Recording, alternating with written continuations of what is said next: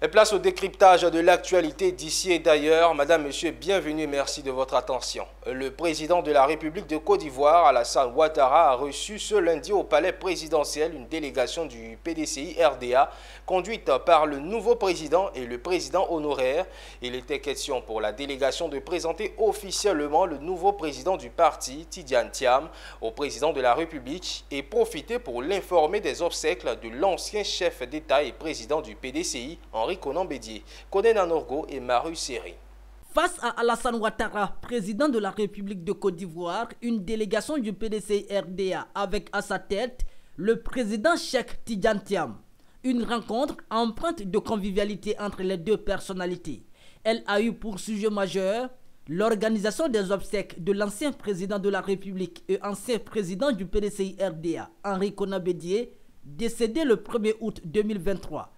Les obsèques sont prévues du 20 mai au 2 juin 2024.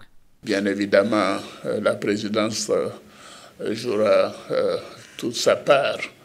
Et moi-même, en tant que jeune frère du le président Henri Conan Bédier, je serai disponible pour apporter tout mon soutien à ces obsèques.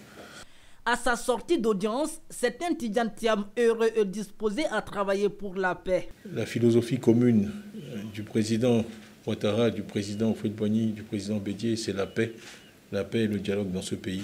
Donc j'ai tenu à l'assurer de ma disponibilité pour l'aider dans la tâche qui est la sienne et continuer à assurer le progrès de la Côte d'Ivoire euh, après tous les progrès réalisés sous sa conduite.